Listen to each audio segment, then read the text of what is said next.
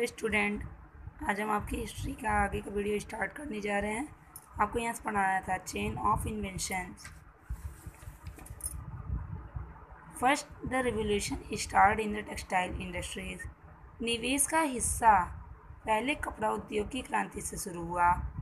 India imported large quantities of cotton Bharat ने बड़ी मात्रा में कपास का आयात किया। New machine were required to spin out the thread into cloth. धागे में कपड़े का बाहर निकालने के लिए नई मशीनों की आवश्यकता थी। The first of this invention was the flying shuttle and the spinning jenny that had to spin cotton faster इन आविष्कारों में सबसे पहले उड़ने वाला सटल और स्पिनिंग जेनी था, जिसने कपास को तेज़ी से स्पिन करने में मदद की। The water frame and the mule help the thread to make them finer and cheaper. Water frame और खच्चर ने धागे को बारीक और सस्ता बनाने में मदद की।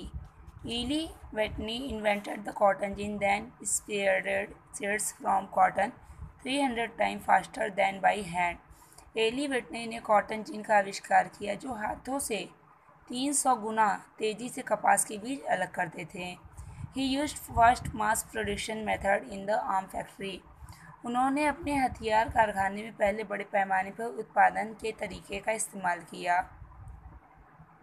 The invention of steam engine by James Watt symbolise the revolution James Watt द्वारा स्टीम इंजन का आविष्कार क्रांति का प्रतीक था।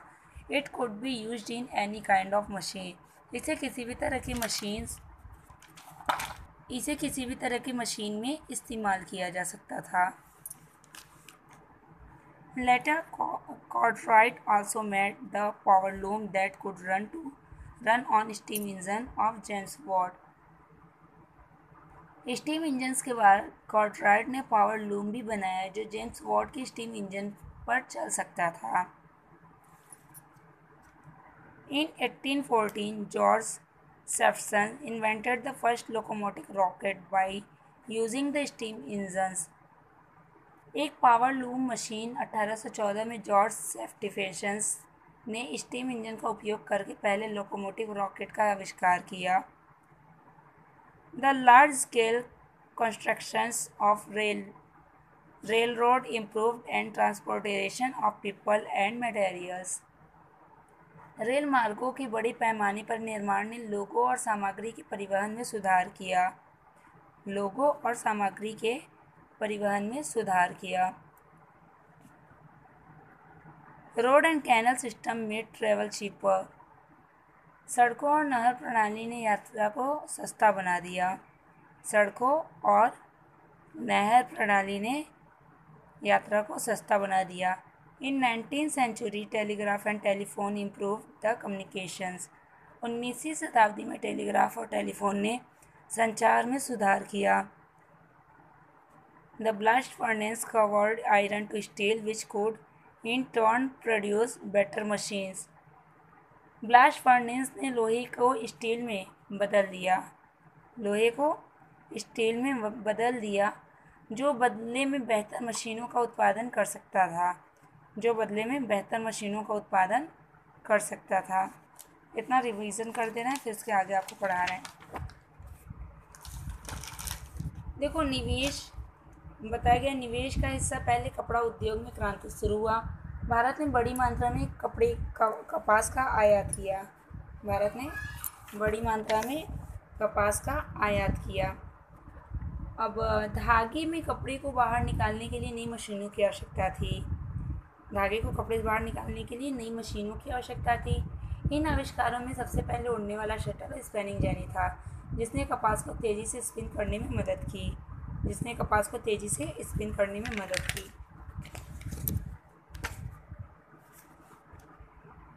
वाटर फ्रेम और खच्चर ने धागे को बारीक और सस्ता बनाने में मदद की। एली वेटनी ने कॉटन जीन का आविष्कार किया, जो हाथों से तीन सौ गुना तेज़ी से कपास के बीज को अलग करते थे। उन्होंने अपने हथियार कारखाने में पहले बड़े पैमाने पर उत्पादन के तरीके इस्तेमाल किए। अब जेम्स वॉट ने क्या बनाया स्टीम इंजन का आविष्कार किया जो क्रांति का प्रतीक था। इसे किसी भी तरह की मशीन्स में इस्तेमाल किया जा सकता था। स्टीम इंजन्स के बाद कॉर्डराइट ने पावर लूम भी बनाया जो जेम्स वॉट की स्टीम इंजन पर चल सकता था। एक पावर लूम मशीन 1814 में जॉर्ज स्टीफसन्स ने स्टीम इंजन का उपयोग करके पहले लोकोमोटिव लोकोमोटिव रॉकेट का इस्तेमाल किया। रेल मार्गों के बड़े पैमाने पर निर्माण ने लोगों को इस सामग्री और परिवहन में सुधार कर दिया। जब रेल मार्ग बढ़ने लगे तो क्या हुआ? लोगों की सामग्री और सामान और जो परिवहन थे उसमें भी क्या हुआ? सुधार हो गया। सड़कें और नहर की जो प्रणालियाँ थी, ये क्या है? ये यात्रा जो लोग ट्रैवल करते थे उसे क्या कर दिया सस्ता कर दिया? मतलब आ, यात्रा को क्या कर दिया? चीपर सस्ता कर दिया। फिर आगे आप कहें नाइनटीन सेंचुरी में टेलीग्राफ और टेलीफोन ने संचार को सुधार किया। मतलब जब टेलीग्राफ और टेलीफोन बन गया तो संचार सुविधा कम्युनिकेशन सर्विसेज़ क्या है? इम्प्रूव हो गए। हैं ब्लास्ट फर्नेस ने लोहे को स्टील में बदल दिया। जो ब्लास्ट फर्नेस थे उन्होंने लोहे को स्टील में बदल दिया। A revolution in agriculture with a new form machinery was occurred, like the steel plough and machinery drills.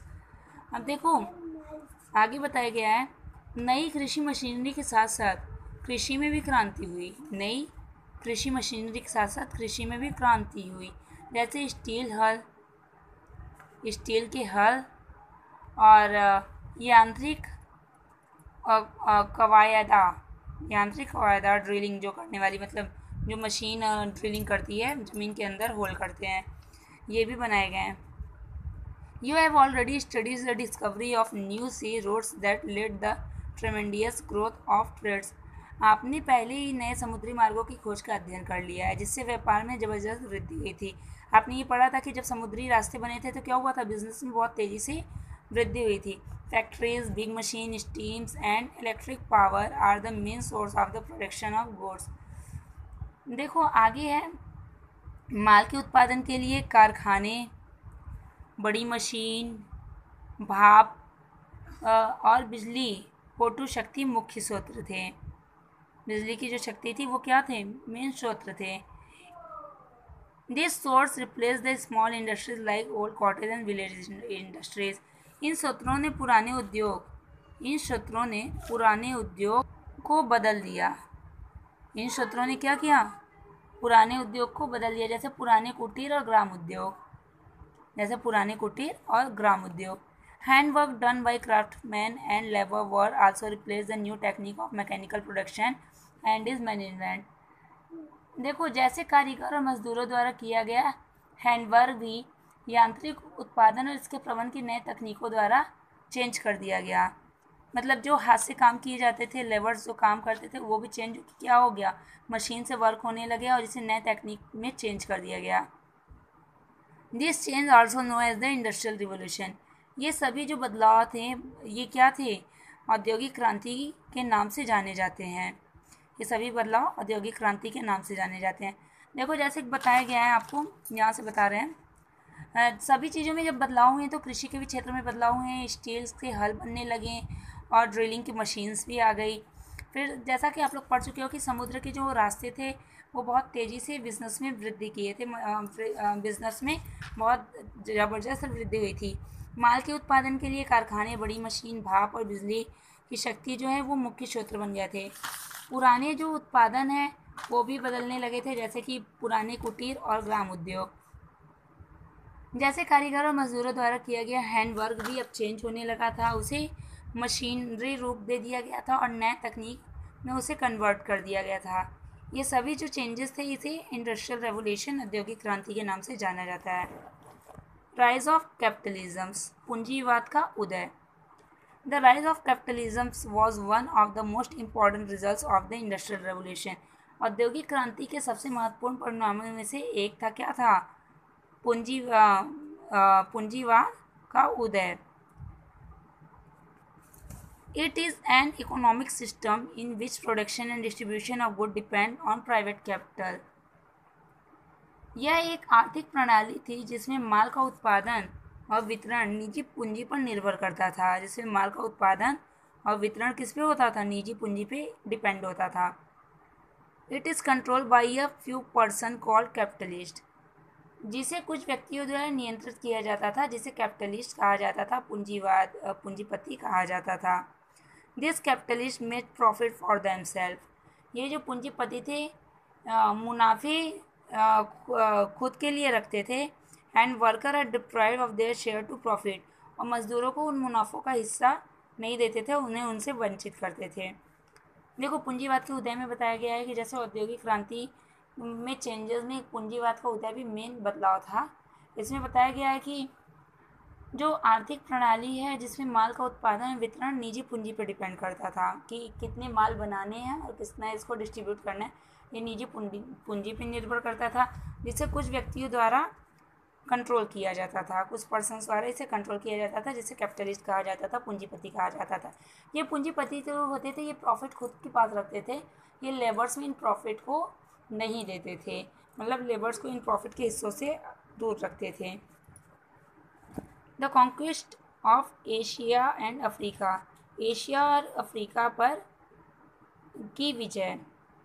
The following condition of the favourable imperialism in Asia and Africa जो विभिन्न स्थितियाँ हैं एशिया और Africa के विजय पे वो आ, क्या क्या है स्कैसिटी ऑफ़ इंडस्ट्रियल रेवोल्यूशंस औद्योगिक क्रांति का संकट। जो आर्थिक these area are very backward economically आर्थिक संकट से जो अधिक पिछड़े एरिया थे, वो इसमें आते थे।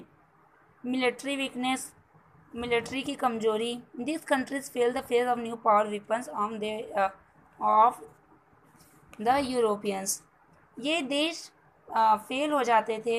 यूरोपियन जैसे नए पावर नए पावरफुल हथियार का उपयोग करने में मतलब इनके पास नए पावरफुल हथियार नहीं होते थे। ये इन हथियारों का सामना नहीं कर सकते थे। Absence of strong nation states इनके पास मज़बूत राष्ट्र का ये अनुपस्थिति भी एक कारण थी।